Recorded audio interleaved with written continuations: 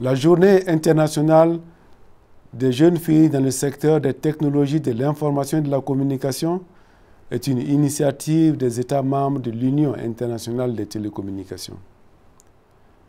L'objectif de cette journée est de créer un environnement mondial qui donne aux jeunes femmes et aux jeunes filles les moyens de leur autonomie et les encourage à envisager une carrière dans le secteur des TIC en pleine expansion.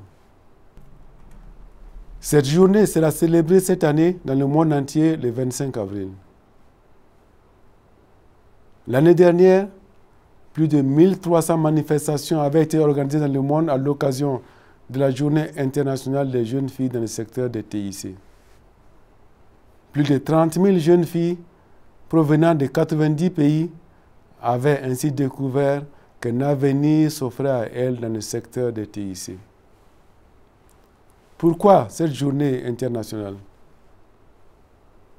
Parce que de nos jours, plus de 95% de tous les emplois nécessitent des compétences en matière de TIC.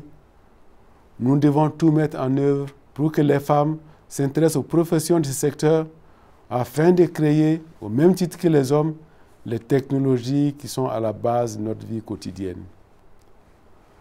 En ma qualité de directeur du Bureau de développement des télécommunications de l'UIT, je vous souhaite une édition 2013 très réussie et je vous invite à encourager et à aider les jeunes filles et les jeunes femmes à poursuivre leurs études et leurs ambitions professionnelles dans le secteur des TIC.